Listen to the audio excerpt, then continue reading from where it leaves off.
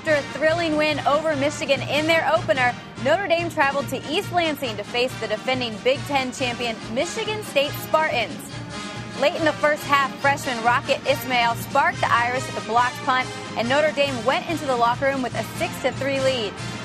In the second half, the Irish punished the Spartans on the ground. Mark Green, Tony Brooks, and Tony Rice led a Notre Dame rushing attack that rattled off 195 yards against a defense that ranked number one against the run the season before.